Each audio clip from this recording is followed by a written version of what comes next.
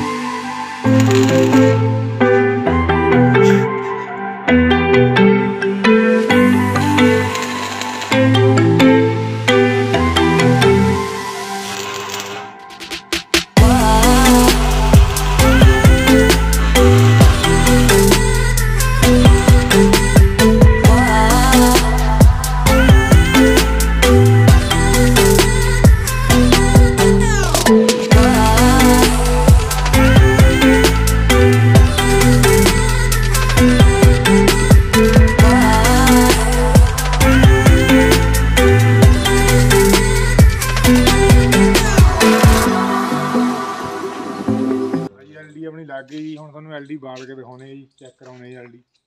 LD